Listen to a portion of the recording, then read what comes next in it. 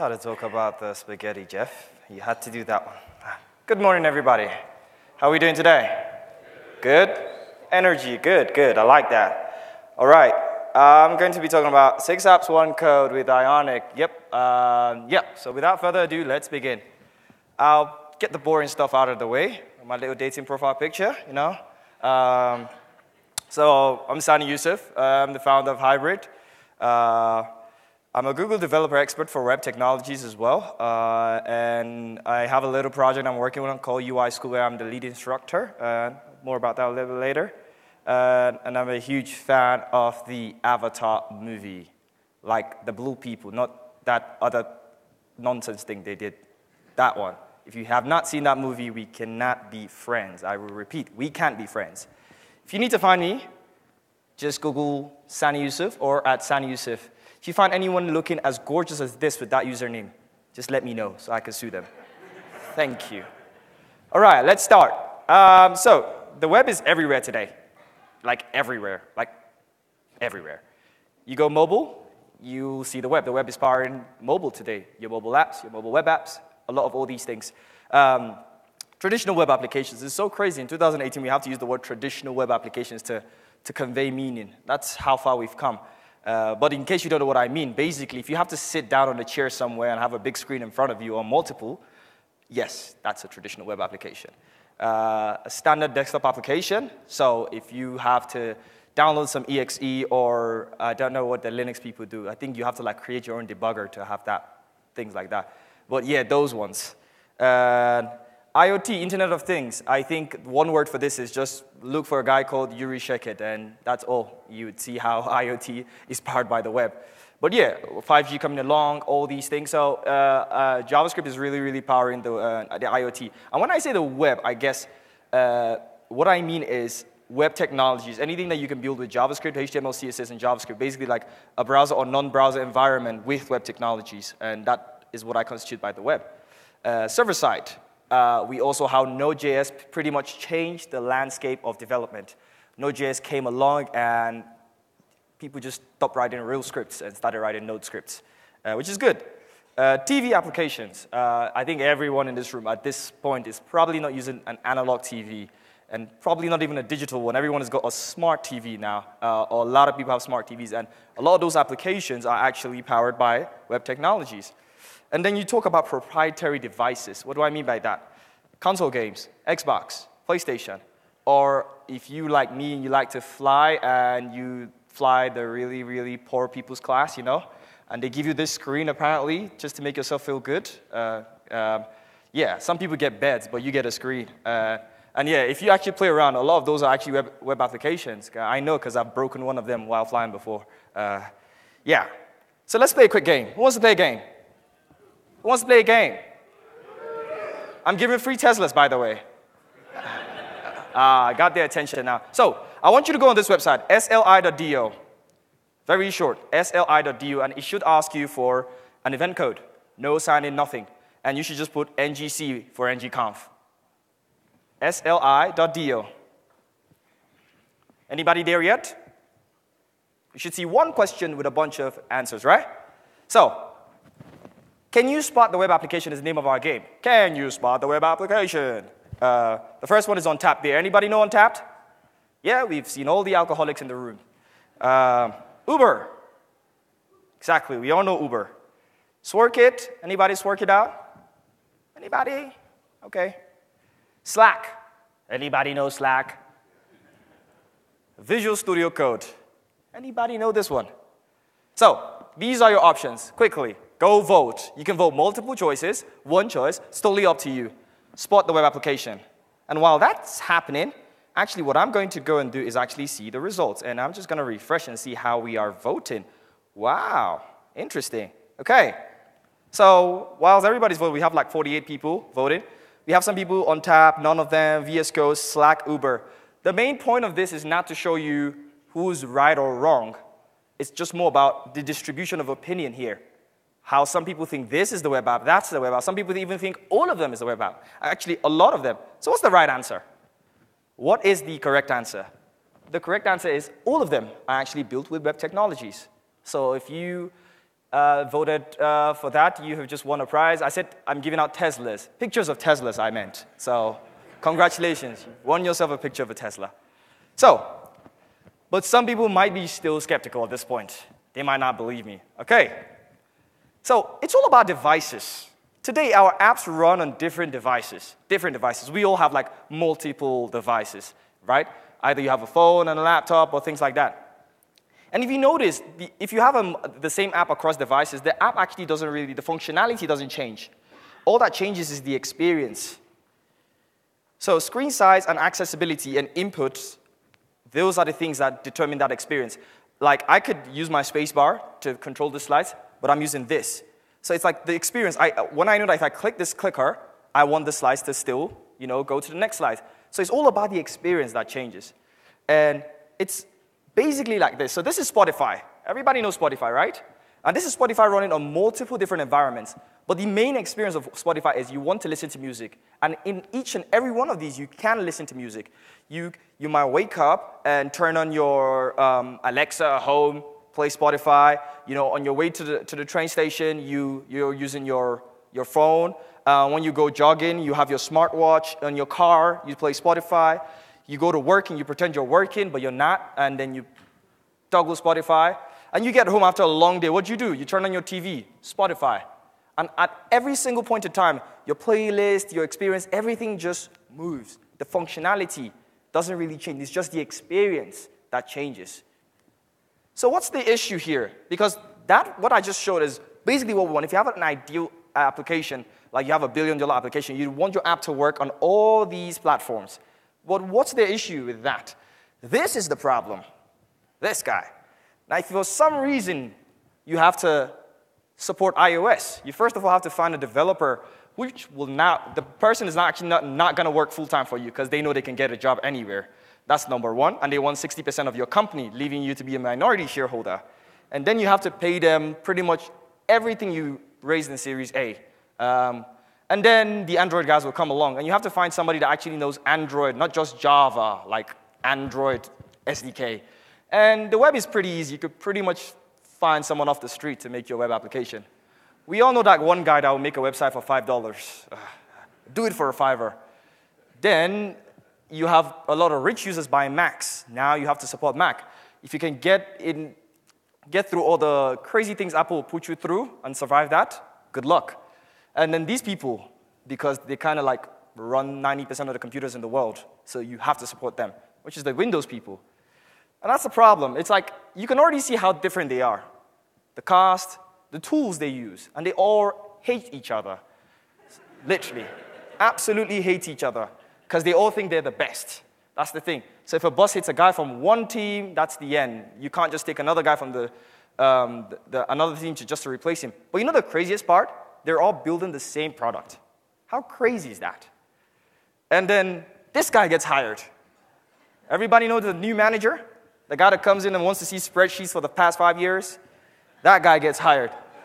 And a bunch of your mates snitch on you because they like, I just want to be on the good side of the new manager. And what's the first thing every new manager says? There's no budget. We need water, no budget. We need air, no budget. There's no tissue in the bathroom, no budget. Developers never have budget, but they have budget for those crazy expensive lunches, you know? The ones nobody eats and then the office has to eat, those ones.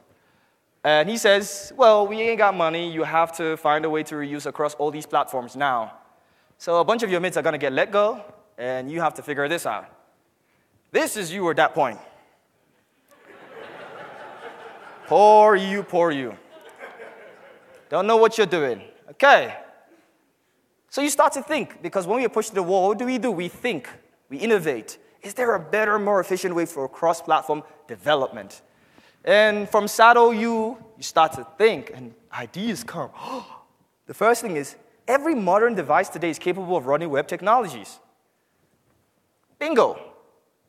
Web technologies are relatively easier just to learn and to use. Like, I could teach you how to create a HTML web page in like a day but I'll, you'll probably still be in public static main in Java for like the, a month, still not know what you're doing.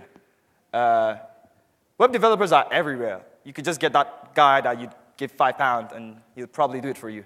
They're easy to find, you know, uh, and good developers are everywhere too, web developers. Uh, so you start to think, why can't we just web everything? Like, doesn't that just make sense, you know? We can use the web everywhere, you know?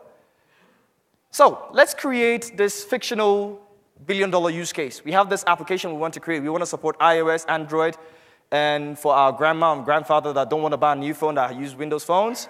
And then desktop applications, we want to make sure it's responsive in mobile web. And there's this new thing called PWA. We want to do that as well.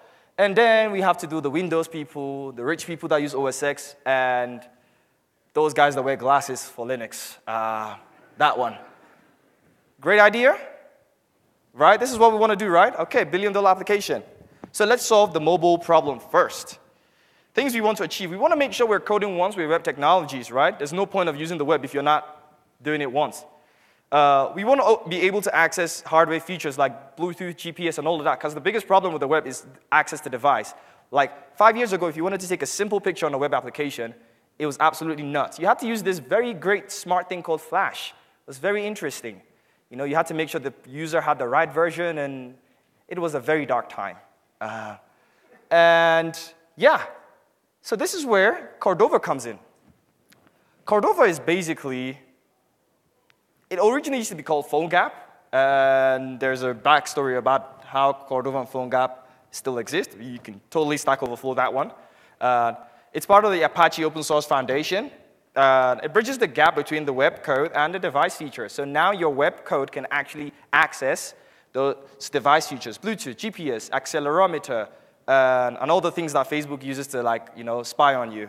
Uh, it supports all major operating systems, so Android, iOS, Windows, Ubuntu OS, BlackBerry, if you still use one. Uh, it has a plugin interface for extending these um, features. So we've solved the mobile problem, right? Well, not really. Why? This is the problem. The mobile ecosystem, they all have different UI SDKs. Wonderful. Wonderful. You will never see that in any other talk. That deserves a round of applause of its own. wow. Wonderful. Java wanted to update. All right. So this is the problem. Apart from the fact that they have different UI SDKs and libraries, they also have different user experiences. The people that are using, uh, the Android users in the room already know which one is their app. The iOS users know which one is theirs. The Windows people know which one is theirs. That's it. You automatically just know because you're used to that experience. Some devices have back buttons. Android, we have back buttons. Uh, iOS has one button. Well, actually, now they have none because every year they remove something. Last year they removed the headphone jack. This year they removed the button. Next year they probably remove the screen. You know? we give you the Alexa iPhone, and you see all these Apple people. You don't really need the screen. Like, come on, how many times do you look at your screen, man? Like, they would, they would find a way to rationalize it. These guys would queue up for three days in the rain for a phone without a screen. I promise you that. Uh, I mean, don't forget the tablets and the phablets. You know those confused phones? The ones that, hello? Those, you need like five fingers, like you throw it and kill somebody with it. Yeah. Don't forget those devices. Uh, so how do you reuse at this level? Drum roll. Actually, not yet drum roll. So this, let's visualize the problem. This is a native app.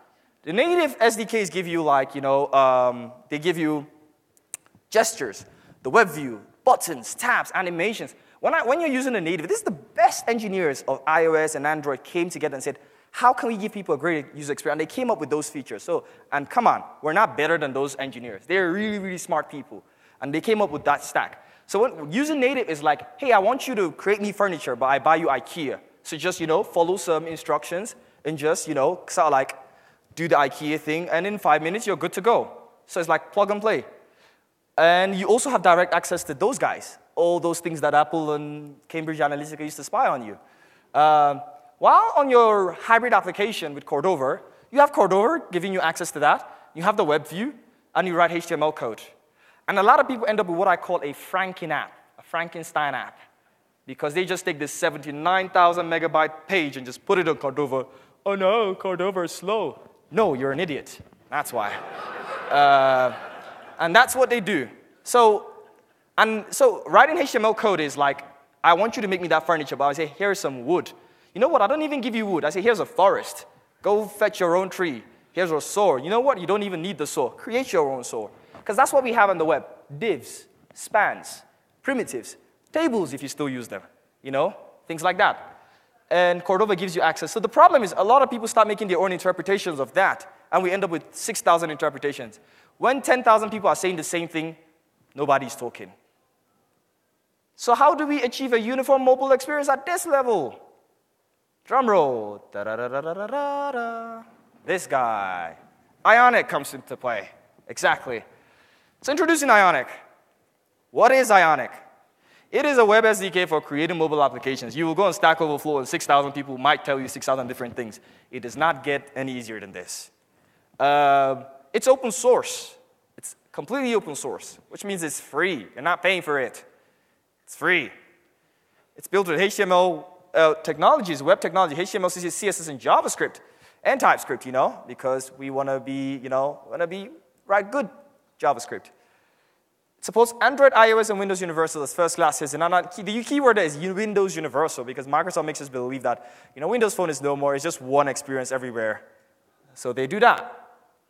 So what does the stack look like when you're creating your app? You have your code, which you write with HTML, CSS, and JavaScript.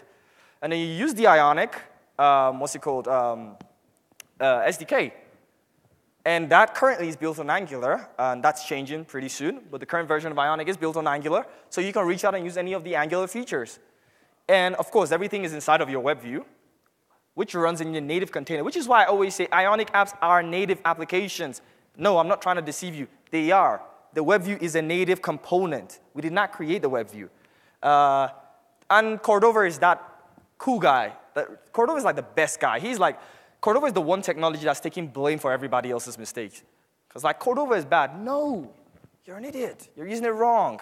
And everything. You tell Cordova, get me a camera. Sorry, get me a picture. Cordova will be like, yes, I'll do that for you. It doesn't even ask you what device you're on. It just says, I got you. It's a really, really nice device, uh, nice technology. So features of Ionic. This is great. So this is a, uh, an application built in Ionic, the same exact code running across multiple platforms. So it automatically also adjusts and suit the needs of that particular platform without you need, needing to do that. There's a powerful Ionicons library built by Ben, and it's great, great, great library, free icons, more than a thousand of them. Um, customizable and configurable, because when you're using tools like this, you want to know how you can easily configure your applications and stuff.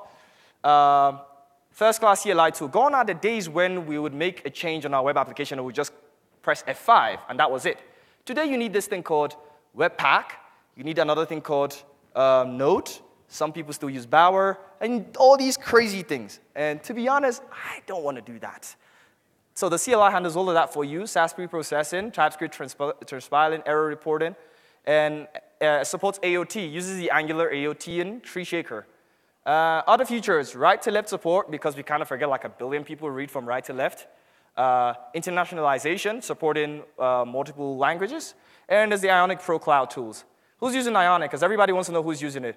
More than 4 million apps have been generated, 110 plus countries that have communities. Uh, there's actually a meetup tonight, so make sure you come through right here in Utah.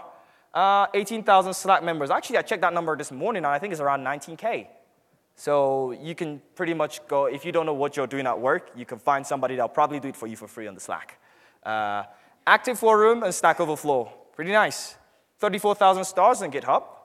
And companies like Microsoft, Airbus, Diesel, Dow Jones, etc. all use Ion, and these are some of the apps they've built. Uh, so let's get started. Enough talk, right? Shall we see some code? Who wants to see some code? There we go. Okay, to get started, simply just do npm install, you know, Ionic start. My app is the name of your app, and then you have a bunch of templates. They give you templates like blank, um, tabs, Google Maps template, or you can just put a GitHub URL or somebody that created their template and just like steal it off them. Uh, you cd, and you use the command ionic serve, and that's it. Who wants to see? I am the Night King. Okay, Ooh, maybe I shouldn't have shown that one. Mm, okay. Uh, all right, so I actually already have an app I've literally just created uh, because I don't want to npm install live. That is probably a terrible idea. Um, so what I'm going to do is I'm going to toggle the the terminal here. Uh, and I'm just gonna say Ionic Lab actually. I'm not gonna run Ionic Serve. Ionic Lab actually runs Ionic Serve behind the scenes, but it uses a mobile view. You're gonna see this really, really cool view. And by the way, how's the font size? All good? Go, okay. No, Sani, that means something totally different somewhere else. Uh, let's do this. And, okay, so everybody can see that? Pretty good? So we can see our, let me just reduce this so that we can see them on full screen. Who can guess which one is Android? See, which one is iOS? Exactly. If you notice, I haven't labeled them, but the Android people know which one is theirs. And who can guess which one is this guy? Good. For my grandma and granddad. Uh, I haven't written any code yet, but we can already see that there are glaring differences. The placement of the header, the font size, the shadows. This is what the Ionic SDK already does automatically for you. It knows the mobile platform better than you do, uh, so that you don't have to do this. So let's go ahead and see what we should do. So I have this um, very, very nice um, server that I have running, um, which is a bunch of movies that I really, really like and it has this. So let's go ahead and actually try to use this application. So I'm going to go into the store, and this is just a standard app, um, uh, Angular application here. So the first thing I'm going to do, because I'm going to be making a GET request, uh, I'm going to go, what do you need to do when you want to make a GET request? Let's see. Let's test your Angular skills. What's the first thing you do? HTTP client module. Good. Okay, good. And I'm glad the person that said that is someone I actually trained. Hmm, nice. Uh, so we are gonna, oh, Sani, it, I think it's import from uh, at Angular forward slash common forward slash HTTP, correct? And then we have the HTTP client module, we have that guy. And then we make sure that that guy works by putting him in the imports block. So we're making him available across our application. Standard Angular application. Now we want to go to our homepage. This is what we see in our homepage right now. What should we name our application? Any takers? Salt spaghetti. Oh, Jeff wouldn't let that go. Oh, I can't spell spaghetti. Uh, something like that, right? Yeah. That one, right? Spaghetti. Okay, good. It's not my fault. African education people, it's not my fault. Uh, then I do what I always do when I'm working with Ionic, which is I go to the documentations and steal Brandy's great examples because they're better than mine. So I'll go to the framework and I'll go to explore docs. Uh, come on, I have a demo here, internet. I command you to navigate. Good. And UI components. And I go to the UI components and I go to cards because everybody likes cards. So I'm going to just go to cards. Let's see what card I should use. And I like the way this looks, actually. So I'm going to just copy this card here, um, this, bit of, uh, this bit of code, because I'm very, very lazy. And I will just put that here. And so this is the example here. I want to put the name of my favorite movie and the picture. And with the, I don't need to do that guy. So let's go ahead and see that. So uh, now I want to go uh, to the home .ts because I want to make a GET request. So I would import from, no, Sani spell, from uh, at Angular forward slash common forward slash HTTP. And here, what do I get? Anybody? Exactly, the HTTP client itself. Okay, so I'm just going to say private HTTP and I'm going to say HTTP client for dependency injection. I'm making it part of my class. And I'm just going to create a public property called my films, right? And I'm just going to make a GET request. So let's look at that API. First of all, let's have a look. So you, you can see each movie has these properties title. I'm going to focus on just title and poster for the image. And this is the, um, the API uh, link. So I'm just going to say this dot HTTP dot what? Anybody? Get, and what do I pass? URL, this guy. And I'm just going to say this, uh-oh, no, this, that, my films equals that to make sure that the observable 9 gets returned this way, right? And what's the next thing I would do? I will just go here and just do an ng like that, ngFor equals, um, there we go, this guy, ngFor equals let film of my films. And because this is an observable, what do I do? Async pipe, good, we listened in class. Uh-huh. And first thing I want to do is I want to bind this guy to the image, and I want to say, hey, our film has a property called what? Poster. And here, on the title, I want to have film dot, I think it's title, right? And I'm going to save that. I think it's title. Title, yeah. And now let's go ahead and see salt spaghetti. So salt spaghetti is not rendering something. Let's see. I think I know what I've done. I've broken, uh, yes. Okay, my DevTools is completely hanging now. I think I've broken Webpack, completely broken Webpack. And let me just make sure I don't have any service worker. Come on, Chrome, I'm on a time here. I'm on a clock. Take your time, Chrome, take your time. Okay, so we don't have any service workers.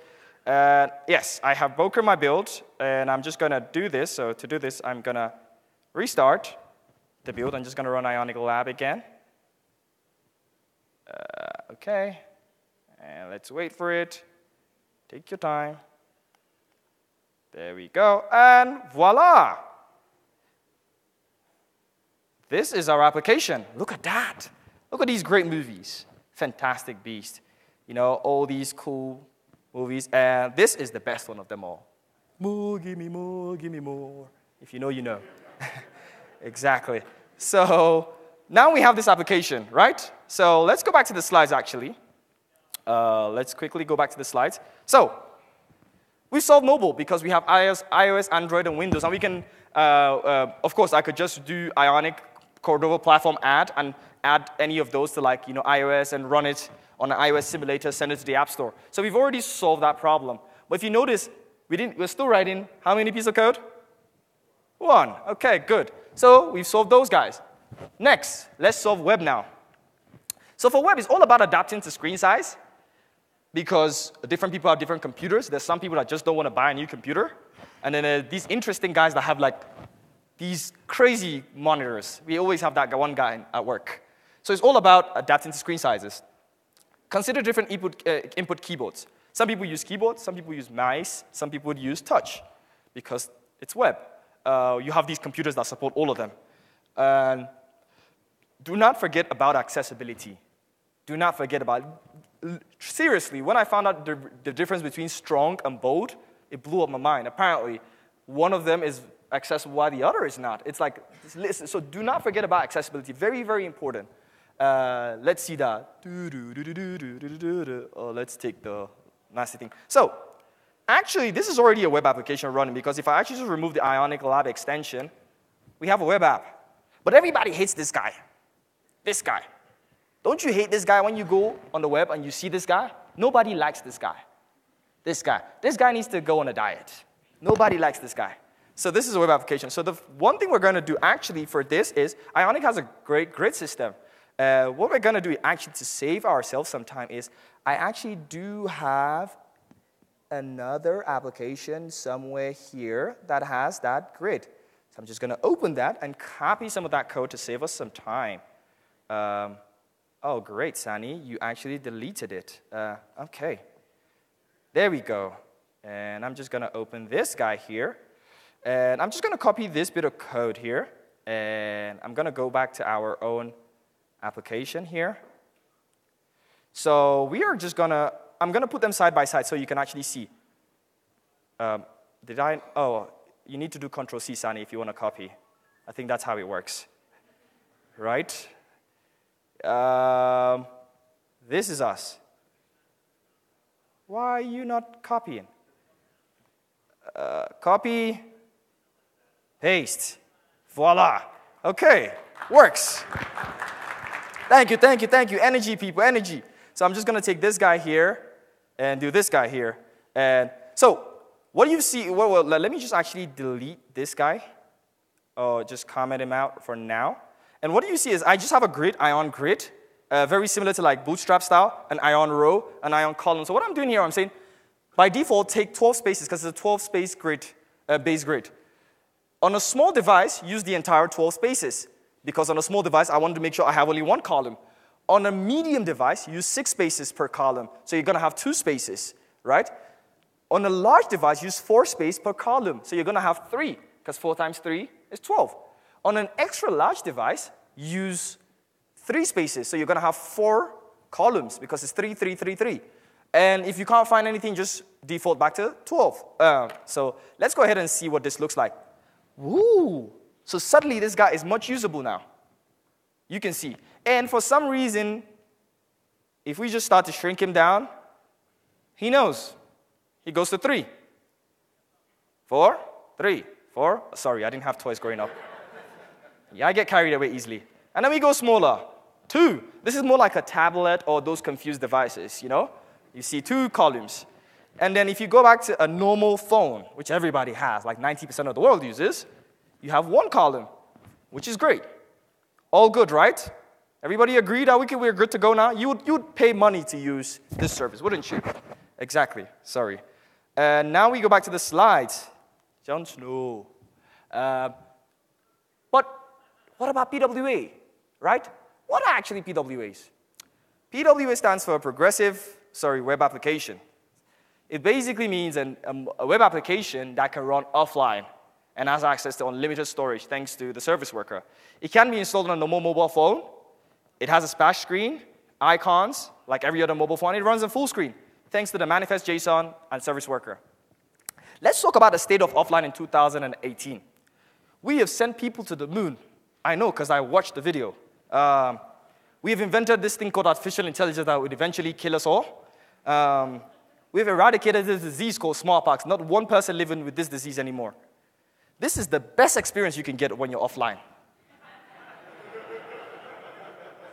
yes, this is the best thing you can see offline. A game. Some of you probably didn't even know this was a game. This is a game. This is the best thing you can see when you're offline in 2018. Wonderful. We have a guy that wants to send like people to space and create like Hyperloop, and this is what we get offline. Interesting. So how does the service worker work? It's a proxy that sits between your app and the server, and it proxies requests and responses. So it allows you to cache unlimited data and supports push notification. And does anybody know what Li-Fi means? Li-Fi is when your phone has two bars and it makes you believe that you have service. No, you don't have service. Your phone is confused. So it's Li-Fi. It's lying to you. You know? Exactly. It's totally confused. Let's see the demo, shall we? So luckily, this is going to be the easiest demo because Ionic by default actually supports service workers. So we're just going to go to the index.html here. And I'm just going to uncomment a bunch of lines here. Uh, and that's it. And I'm going to save this guy. And I'm saving this guy. And I'll refresh. Nothing really changes. Nothing really changes. And I'll just refresh. So I'm going to do something crazy. I'm going to disconnect from my Wi-Fi. I told you I was crazy. I did tell you. This could go horribly wrong. If it goes horribly wrong, we just pretend that nothing happened and just, you know, yeah. Maybe I should refresh one more time. yeah. yeah. Turn off Wi Fi. So we try to go to google.com or something, and we can play. yeah, we can play this guy. Hey, this is not what I'm supposed to be using my time for. And then we go back. Let's refresh this guy. Voila. Did you see that? Refresh again. We're still online. This is really cool. We don't have internet, but our app is still running. Because why? When we activated the service worker, the service worker automatically goes and caches all the requests. Every one of those is a request, the API call, the images, and it's cached them. So now when we are requesting the same resource, as long as the app is concerned, we actually went to the server, but we're actually getting it quicker because no trip to the server. So this is really cool. Maybe this is a good time to actually go back to the internet. Exactly. But yeah, but this is really cool. Um, so we saw this problem now. So now let's solve desktop. By the way, I can't say desktop. Uh, I'm Nigerian, sorry. I always say desktop. It's too late for me to learn. Uh, so let's solve the desktop problem. It has a lot of common with web applications in terms of user experience right? Because for you to use a desktop application, you need to sit in front of a computer. Uh, noticeable differences with web apps. Uh, offline is a must. Imagine if you, Photoshop does not work when you don't have internet. Just go home. It has to work. Uh, OS X, Windows, and Linux all have different UI skins. You know, in the Mac, um, the close button is on, I think, the right-hand side, left-hand side. On Windows, it's on the right-hand side. Things like that. On Ubuntu, it depends on which flavor you're using. You could probably hack it to make it in the middle. They allow you to do everything. Exactly. How do you ensure reusability? Here, something called Electron exists. It's great. What is Electron? Electron is basically the Cordova for desktop. That's, that, that's, that's what I call it. It's open source, supports cross-platform de desktop uh, development, use web technologies to code applications. OS X, Linux, and Windows support first-class citizens. Some Electrons app, uh, Electron apps you already use today that you don't even know, Slack and Visual Studio Code. That's crazy. You have an app built with HTML, which you use to write what? HTML. That is crazy. That's inception. That's deep. Yeah. Very interesting. So, let's see this demo in action. All right, let's go. Um, so, to work with, um, what's it called, Electron, you just need to download the Electron starter. Uh, you go to the Electron GitHub page, they have this starter, and you just download it and you run npm install, and it takes like one second. I've actually gone ahead and already done that for you guys, because I care about all of you, you know. Uh, so I actually have this Electron Quick Starter application, and I'm just gonna open it here. So let's open it here.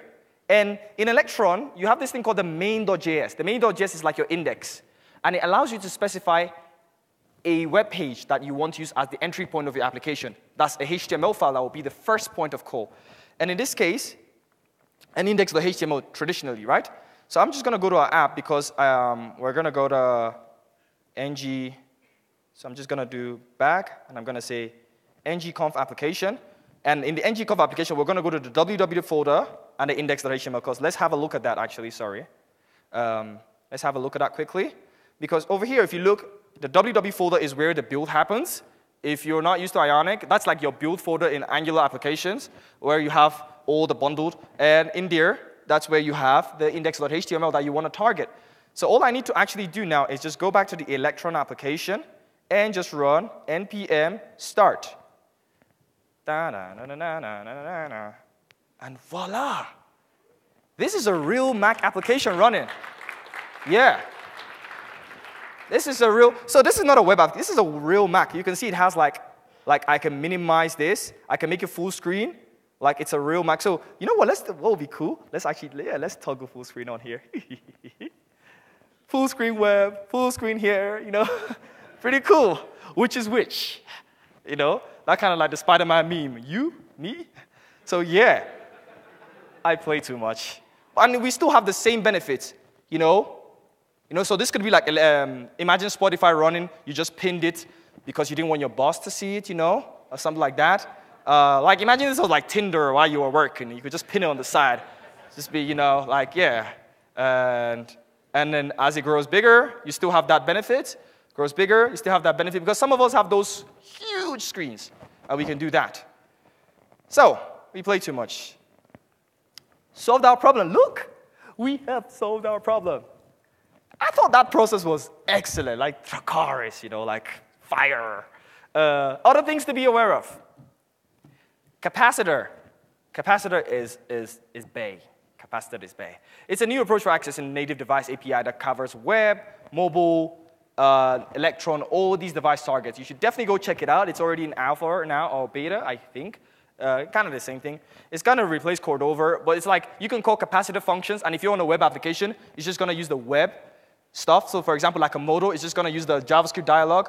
On Electron, you use the Electron ones. On iOS, you use the iOS ones. Pretty, pretty cool stuff. Uh, and then you have Stencil. If you like to build web components and all those things that I don't like to do, you build the web components so I can use them. I'm more of a user, so do them. And yeah, this is what's going to power the next version of Ionic because the next version of Ionic is completely platform agnostic. So you can use it with any library, not just uh, Angular. Uh, React, oh, I said that name. Mm. Uh, the, you know, and the other ones, and those guys.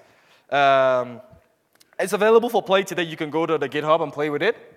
Uh, Ionic Pro, pretty cool stuff, you know, like they have a lot of things that you can use. Deploy is one of my favorite ones. It allows you to update your apps live without going through the app store. So you can update your app like really, really live. And I have some talks on that you can check out on YouTube. Package, you can do cloud builds because if you want to create iOS applications, you have to buy this expensive device called a Mac. And it's like three months rent. And if you don't fancy doing that, yeah. Error reporting, drag and drop prototyping with Ionic um, Creator. Uh, my bold predictions. These are my bold predictions. PWAs will be accepted to the App Store within the next year. This is going to happen end of JavaScript frameworks. We're going to start killing each other because of which framework we're using pretty soon. PWAs will make it to your Mac, Linux, and Windows computer. This has actually already come true because Chrome OS have taken an uh, Windows, Windows, uh, uh Microsoft Windows 10 now. You can do this. You can run on your Chrome OS on your Windows device. So, hey, prediction came through. Web is going to be the new native. When we say native, there's a certain connotation that we add to it. But soon, web will have that. WebAssembly is here. A lot of things are here. Web is going to be the new native. Shameless promotion, of course. They gave me a stage, and I have four minutes. I can do whatever I want. Besides, they took five minutes for my time, right? Might as well. So I actually have 10 minutes. um, I'm creating this thing called UI School. Uh, we're teaching what we call production-driven design. You can go sign up, and yeah, make sure to do that. Also, at the end of this session, I will be outside and I'm going to be handing some free stuff from uh, in three months uh, lynda.com trials so you can learn about Ionic and Angular for free. And yeah, some get started stuff. Uh, you can go to the Ionic site, uh, Electron. You can go to my blog. I don't really write much, but visit it because I get paid because of ads. And I like getting paid. Um, Twitter is the best bet for catching me. Like I said, if you find anybody looking this cool using my username, and it's not me, you let me know. Uh, and without further ado, I would welcome questions now because we have some time.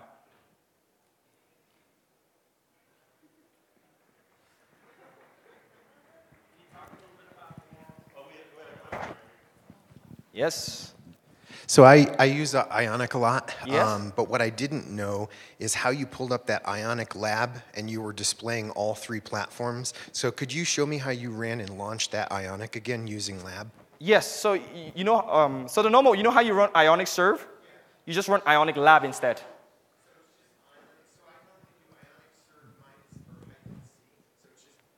Uh, yeah, just Ionic lab.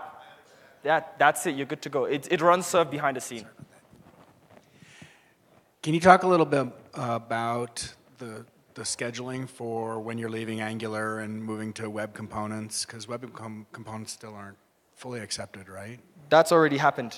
Has it? It's already happened. So that's what um, the Ionity built Stencil for. And with that, they were able to build all these platform agnostic components. Every single one of the co components is platform agnostic. So Stencil, Stencil is what powers that. Stencil is actually kind of a big deal. And, and so that's already happened. The new version of Ionic, Ionic 4, is being heavily tested as we speak. It's, it's probably, you can actually go ahead and play with the beta already. Uh, that's pretty cool because now you don't have to be Angular specific. Everything, every component just works out of the box, regardless of where you are. So you can have an Ionic component working anywhere now. Yes. So what about those of us that were planning to go from our Angular apps to Ionic? Is that, a, is that no longer a thing, or? So that, yeah, no, so Angular is still supported. So Ionic itself uh, currently is built with Angular, but now the new version Ionic is completely built with Stencil. So basically those components now, you just be using Ionic the same way you use like, uh, say, material design library. It's just gonna work wherever you put it without being opinionated. So for you, actually, that's a great thing because now you don't have to worry. You can just integrate your current application, just call Ionic components. Okay. Yeah, we've got time. We still got five minutes, six minutes actually. Yeah. Uh, it's all you first. Can you talk a little more about this capacitor for native device features and the support that will be ongoing for Cordova native device features? Yeah. So capacitor completely replaces Cordova, if I'm being honest because there's no need for it. It brings you closer now to the, to, to the native layer. But it's not just only mobile specific. It's also, Capacitor is a one-way, one-size-fits-all for just web, mobile, and um, Electron. So now, in, with Capacitor, if I call like something like get me geolocation, right? If, if the device is on the web, it's going to use the web geolocation feature. If it's on iOS, it's going to use the iOS one. If it's on Electron, it will use the built-in like geolocation feature of the computer. But you don't have to worry about that code. So it's sort of like it takes, it's like, uh, like Cordova on steroids, but without the bad things that Cordova has, pretty much. Yeah, so it does, there isn't really any performance hit because you, you're just using the same code you would normally use. So if you were using capacitor and you're working on a web device, you'd be calling the same geolocation. But if you had to support another platform, you'd have to write another code for that. But capacitor already has that code for you. So there's no performance hit anyways. It's just giving you a unism, if that makes sense. So we can take a couple more. We got time. Hi. Uh, for Oh, PWA, you said the page is cached, Yes. right?